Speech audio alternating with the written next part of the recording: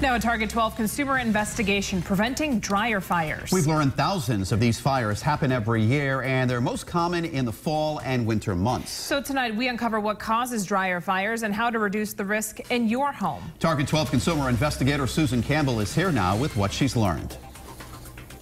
The enemy here is lint. It builds up quickly and can get caught in some not so easy to reach places. Heidi Bernier smelled smoke and followed its trail right into her laundry room. It was clear that it was coming from the dryer. I could see flames. And my first thought was get the dogs out, get my husband, someone needs to help. Her husband pulled the dryer away from the wall and kept the fire from spreading. Once the appliance was out of the house, firefighters opened up the front and found the ignition source. There was a compartment underneath the drum that the lint had been leaking into, and that is what caught fire.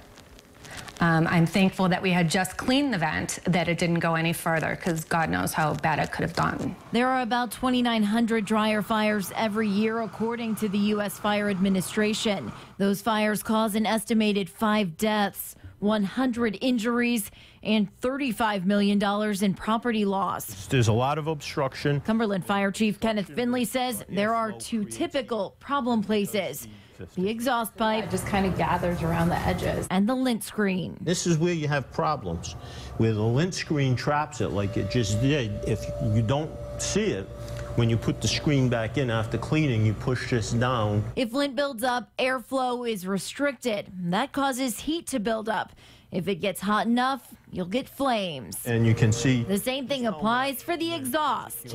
And this no. is all potentially combustible material. Yes. So we asked the chief to show us how fast it can go up. This is what we pulled out of the, uh, the vent hose. The chief set up a controlled situation and lit the lint on fire. Immediately, we're, we're off. Right away. Right away. We've already pegged out over 888 degrees. This is why it's important to clean out your lint screen after every load of laundry. Cottons seem to shed more than polyesters. You know, we all like the luxurious thick towels, those shed dramatically. Uh, and it's all comforts that we enjoy at one side that can create havoc for us on another side. So the chief says you should also clean out the exhaust four times a year.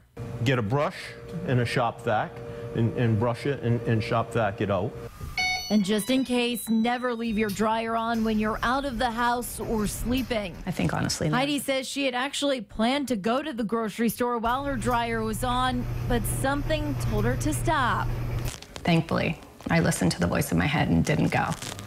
We were really, really lucky. Cleaning out your dryer venting system four times a year may seem like a lot. So coming up new at 6, we'll show you some of the tools you can use to make it a little bit easier. With the Target 12 investigator Susan Campbell, Eyewitness News. Now in a Target 12 consumer investigation preventing dryer fires. We've learned there are thousands of these fires every year, especially in the fall and winter. And at 5, we showed you how just cleaning the lint trap on your clothes dryer isn't enough. And new at 6, we'll show you different options for cleaning your dryer vents and how much they'll cost you. Consumer investigator Susan Campbell is here now with that vital information.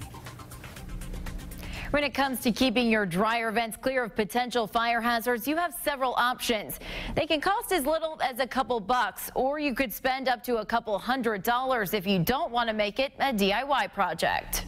The thickness is, is pretty much almost a quarter of an inch thick of, of lint.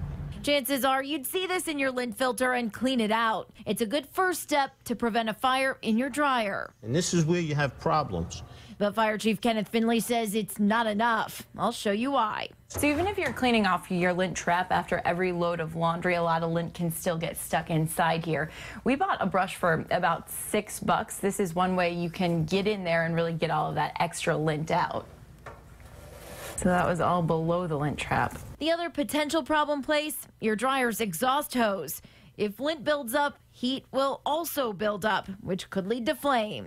If you take a look, you can see there's a ton of lint that's built up inside this one. We bought a bigger brush, and this is just gonna fit perfectly inside here so we can pull some of that lint away.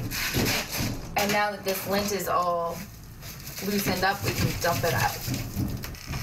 The bigger brush comes with the drill attachment in case you want to get some power into your cleaning. This option was about $20. You can also hire someone to do the work for you. We called several local companies that specialize in dryer vent cleaning. We received quotes ranging from $109 up to 250. A couple safety reminders. Never leave your dryer running while you're sleeping or out of the house. Don't overload it and keep the area around your dryer clean because the heat from the dryer could ignite anything that's too close. With the Target 12 investigator, Susan Campbell, News.